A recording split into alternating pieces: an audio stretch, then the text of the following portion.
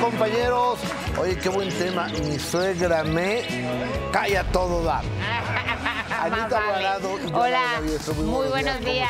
¿Ustedes bien con la suegra? Ah, claro. Sí. Me tocó la mejor, la verdad. Sí, yo también Sí. muy buena relación, por fortuna. Sí, Somos con las tres. otras no. no, así sí tuve una loca. No me digas. Hola. Hola. Se se- un día le dice, chequen esto, me quiero quedar a dormir contigo como cuando eras chiquito. Y yo, ¿qué? Le dice a su hijo, ah, pues se quería dormir con él. en la-". Y yo, ay, no. Amiga, date cuenta. O- o- o- oye, y fíjate que el que no le gusta poner suegra de por medio es a Cristian Castro, porque sorprende una vez más y aplica el dicho que un clavo saca otro clavo. Le encanta este muchacho eso de clavar, porque, o sea, de clavos, ¿no? Porque presume en sus redes que ya tiene una, no- una nueva novia y hasta la presenta. El gallito publicó una foto en sus redes sociales acompañado de una rubia con el mensaje, mi novia hermosa. La mujer le corresponde porque aunque él borró la imagen minutos después, ella le replicó y se ve feliz. Se llama Ingrid Warner, es abogada, artista plástica y todo indica que es el nuevo amor del gallito feliz. ¿De dónde será? Bueno, Se pues ya a- sabes dónde se está metiendo, ¿no? Claro, se fue hasta Londres. No, yo creo que como él se mensajea a través de Instagram, eh, se fue a Londres con ella a buscarla porque ella tiene cinco hijos. Tiene no uno, no dos, no tres, no cuatro, cinco. A Cristian no le gusta tanto eso porque entonces no lo pueden perseguir o seguir por el mundo. Entonces no sé cómo va a llevar a cabo esta relación de tantos chamacos. Eh, y no sé de qué nacionalidad sea, pero andaban en Londres. Eso sí les puedo decir. A ver, tiene 370 mil seguidores Cristian, ¿no? En su Instagram, que es por donde les manda el mensajito, está la cuenta verificada, o sea, tiene conciertos. Y no si le te metes a, a- a- Una como mujer lo hace, no digamos que no. Si te metes a buscar información en, en Google. Pues no sé qué les dirá o cómo las convence, porque sí hay que dar un repaso a toda su historia amorosa y ver que, que no las trata bien, que acaban dolidas, que además siempre las hace quedar mal a ellas cuando él es el que se porta mal. Sí, no, creo que la verdad es poco caballeroso, Cristian, Sí. eh, en, ese, en ese aspecto. Y como artista, pues es otro boleto, pero híjoles, creo que sí tiene una dificultad con las mujeres, mi querido Notorio. Y dificultad con estar consigo mismo. Eh, no sabe estar solo. Yo creo que este es hasta el problema. El Sí. problema es él y mientras él no se atienda, porque no cree, creo que creo que no cree ni en los psicólogos, debería de atenderse, porque se nota, como dice, su eh, em- estado emocional no es positivo. Y entonces va atacando por la vida a las mujeres como a Mariela que dejó todo por seguirlo, porque él le dijo quiero que seas mi manager, quiero Estaba en Miami haciendo su lanzamiento hoy. Ah, bueno, que pues le Mucha deseamos suerte. mucha suerte, exactamente. En otros temas les cuento de Maribel Guardia que a unos días de que se cumpla el primer aniversario luctuoso, aquí es donde nos damos cuenta lo rápido que pasa la vida de su hijo. Ella sí quiere aclarar esta situación porque recientemente dio una entrevista en donde habla del momento tan duro que está viviendo con la pérdida de su único hijo, de lo difícil que de repente es despertar y echarle ganas a la vida. Pero hubo medios que como titular pusieron Maribel Guardia está pensando en el suicidio. Y ella lo aclara de esta manera. Maribel Guardia y su esposo Marco Chacón hicieron frente a la publicación de una revista de espectáculos que aseguró haber tenido una exclusiva con la actriz, donde ella supuestamente reveló que alguna vez pensó en el suicidio tras el sensible fallecimiento de su hijo, Julián Figueroa. Me decepciona mucho porque estoy viviendo algo muy difícil y ver que ponen un encabezado así es muy doloroso. O sea, yo sé que la gente lo ve como una noticia, pero uno vive, es difícil llevarlo con, con dignidad y tratando de salir adelante, ¿no? Y que pongan una nota tan fea es feo. Sí, imagínate, mi mamá lo lee en Costa Rica, Maribel se quiere suicidar. Bueno, por mí nunca ha cruzado eso. Marco Chacón se molestó mucho con dicha revista. Maribel pensó en el suicidio y así abres y abres y no habla nada de eso, pero, nota no dice nada de eso. pero el encabezado lo que dice, entonces para mí ¿Cuánta es, gente es se queda con doloroso. el la verdad. encabezado nada más? Y luego aparte lo repitió medio mundo hasta la televisión, entonces pues sí me duele. Yo llevo un proceso muy difícil y, hablar un tema así es, demasiado fuerte. Sí molesta porque es mentira, pero tampoco al grado de que, de que ay, vamos a demandarlos, a qué flojera.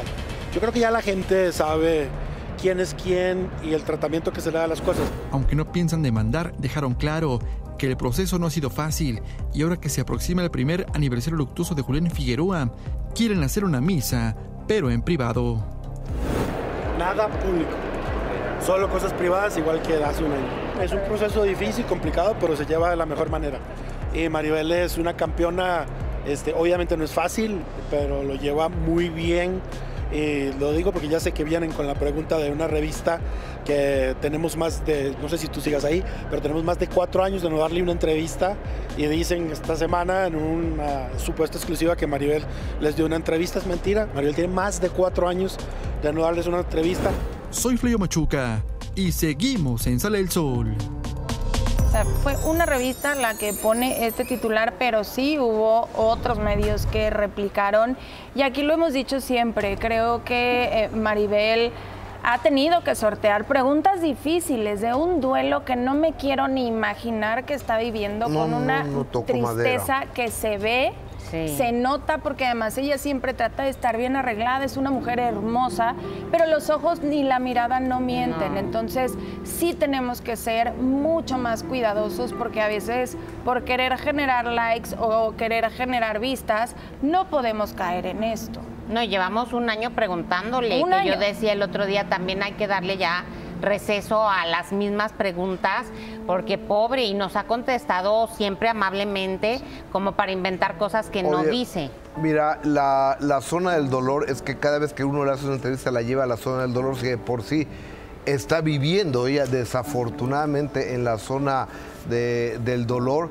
Qué bueno que está Marcos con ella, su marido, su compañero de vida que ha sido un tipazo, fue un padre para, para Julián, fue el manager de Julián y el compañero de vida de la ciudad de Maribel. Qué bueno que, estás, que están juntos. Y Melda también y, su nieto, ¿no? Por supuesto. Eso yo creo que es una un gran curita para el corazón. Sí, pues sí, que tenga ahí a su nieto y que además se parece tanto, ¿verdad? Está igualito. Ay, igualito. Cambiando de tema a algo un poquito más frivolito, ¿verdad? Peso Pluma parece que ya dejó atrás su truene con Nicky Nicole, mientras ella en los conciertos aún lo recuerda. Sorprendió al dar un besito, pero fue así de piquito a la brasileña Anita. Y vean, eh, le llevó un pastel de... Eran unas pompas, ¿no? Miren. Creo que las de ella, ¿no? Ah.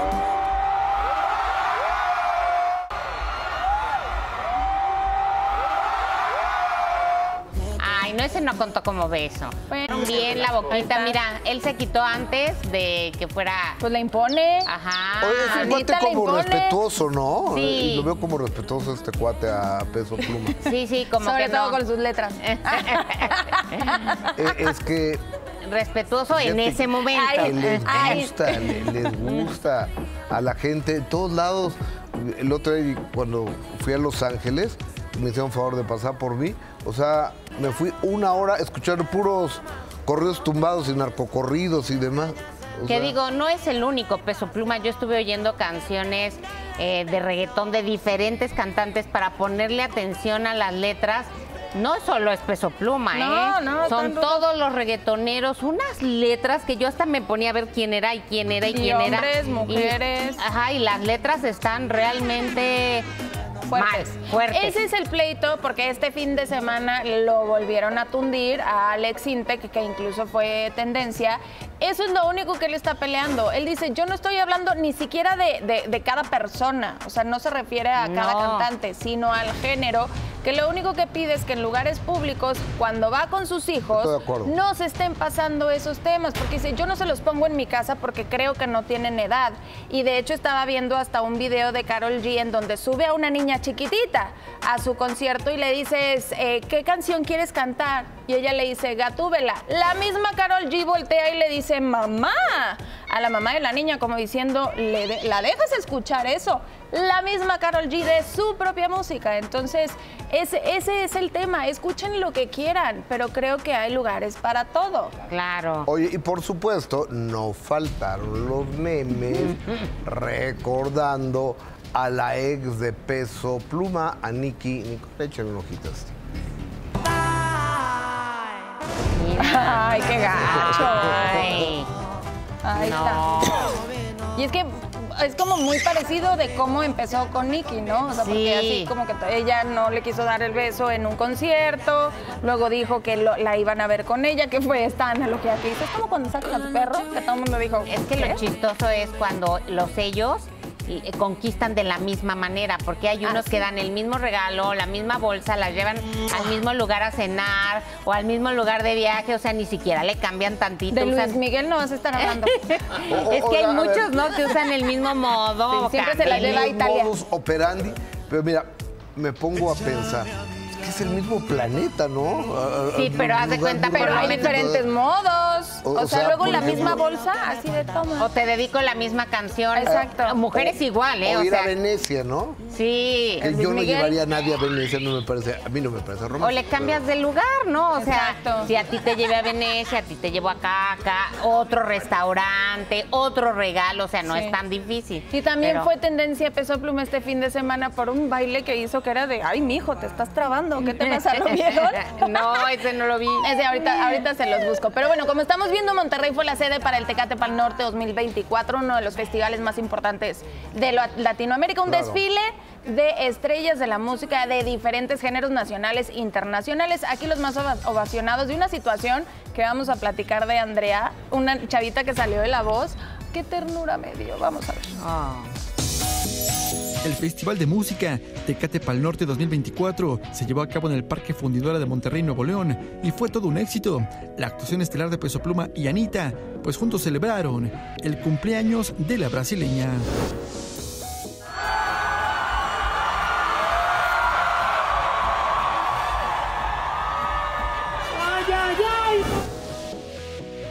La gran sorpresa fue el beso entre ambos artistas sobre el escenario.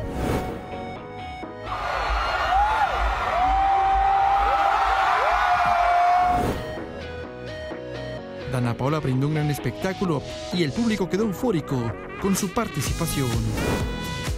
Después de tanto tiempo y 24 años de carrera, sigo amando lo que hago. Y eso es gracias a ustedes. Sí, sí lo quiero para mí, mí. Blink 182, Luis Tomlinson y 30 Seconds to Mars fueron los grandes protagonistas del segundo día del festival.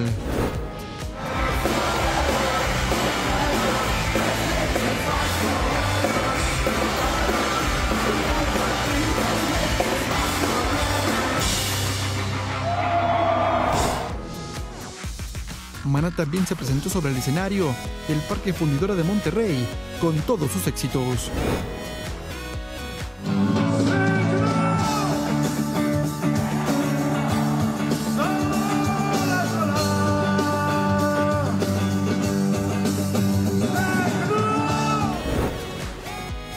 De los artistas más esperados en el Tecate Pal Norte fueron Imagine Dragons, Fuerza Régida y Placebo.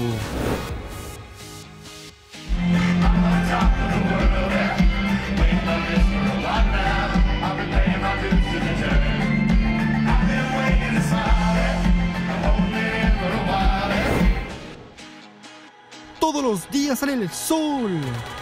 Soy yo Machuca.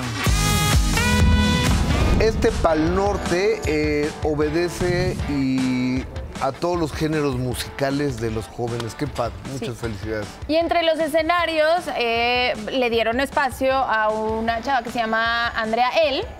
Y ella es, eh, ganó la voz eh, en el equipo de Laura Pausini. Me dio mucha ternura porque solo tuvo un asistente Sí. a su concierto. Ahí estamos Y viendo era la su foto. amiga, ¿no? Su mejor Y amiga. ajá. Fue la única que la fue a ver. Entonces, eh, se hizo viral esta imagen. No sabemos bien qué fue lo que pasó, si nadie avisó que también estaban ahí o la gente simplemente decidió no ir.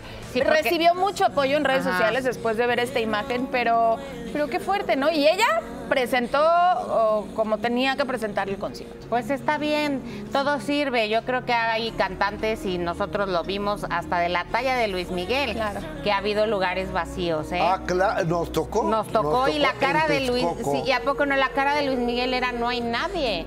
Y es Luis Miguel, entonces no te preocupes que te pasó a ti, Andrea, no Fíjate, pasa nada. Eh, esa gira de, de Luis Miguel lo vi en, la, en Guadalajara, en las fiestas de octubre, lo vi en Texcoco y lo vi también En el auditorio no te tocó. en Monterrey, En- no, o sea, de, de la Ah, gira de de la- Palenques, y ninguna llenó, ¿eh? Ninguna, una llenó. cosa fuera de serie. Pero mira, dice que todo pasa por algo. Esta imagen logró hacerse viral. Hoy muchas más personas van a escuchar su música porque tal vez no tenían, ¿no? Pues luego no es obligación conocer a todo el mundo, pero con esto muchas más personas la van a conocer y le van a dar una oportunidad. Entonces, pero también hay que felicitarla porque no debe ser fácil salir, solamente ver a una persona Y dar el y dar el concierto. Sí. O sea, mis respetos, la verdad, y me dio mucha ternura porque dices, y además la amiga, ¿no? O La sea, amiga, qué padre, porque la amiga dijo, es para mí nada Exacto, más. exacto, yo te vengo a aplaudir, amiga mía. Felicidades, amiga. Sí, sí. Oigan, voy yo, ¿verdad? Sí. a- Alejandro Fernández triunfó una vez más en el palenque de Texcoco, hablando de palenques, y su hijo Alex fue su invitado especial. En entrevista con la prensa, Alex comparte qué opina de Peso Pluma, considerado el número uno a nivel mundial. Y además aclara que, pues, ¿querrá más hijos? Ya tiene dos, ¿no? Yo creo que sí. Sí.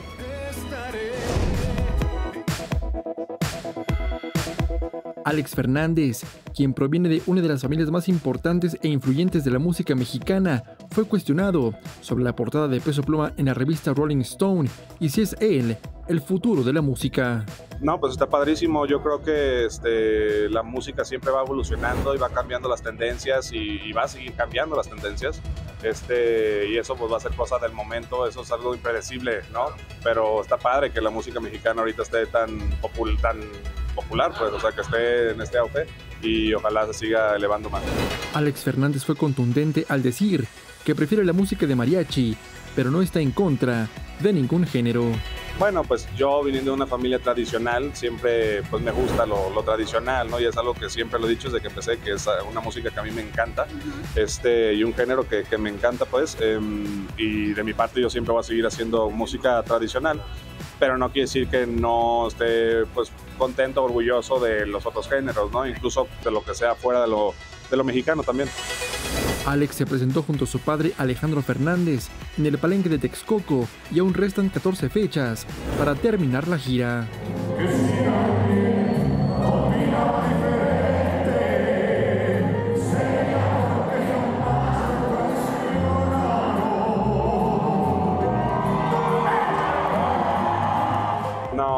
Increíble, la verdad es que como ya les dije, he aprendido muchísimo, qué mejor maestro que, que mi papá.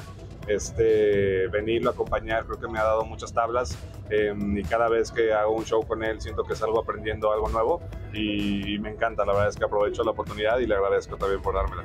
Su etapa como papá la disfruta al máximo y tiene la intención de seguir agrandando la familia. Está increíble, la verdad es que estoy encantado con los dos. Ya como que no te la crees, ¿no? Decir, ay, caray, ya tengo dos bebés, yo quiero, claro que sí, quiero otro bebé. Este, pero sí, se siente maravilloso y ya como que ya ves dos y dices, ay Dios.